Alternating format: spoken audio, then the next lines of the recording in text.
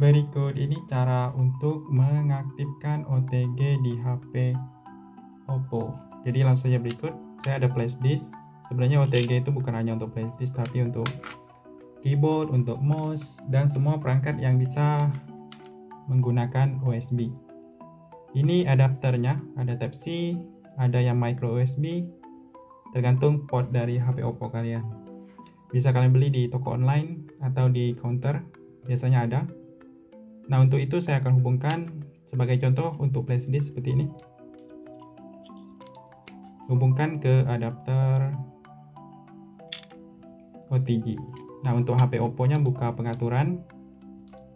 Biasanya OTG-nya itu di sini di bagian pengaturan tambahan. Nah, ini koneksi OTG.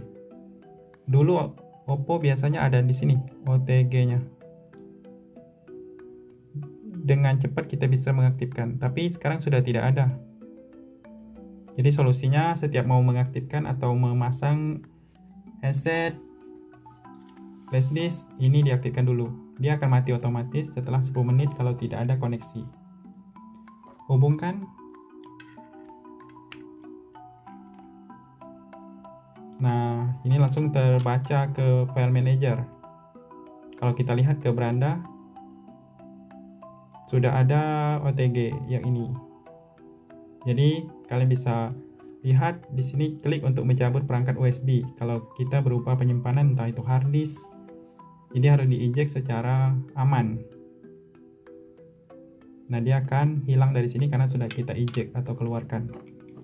Langsung aman dicabut. Silakan dicoba.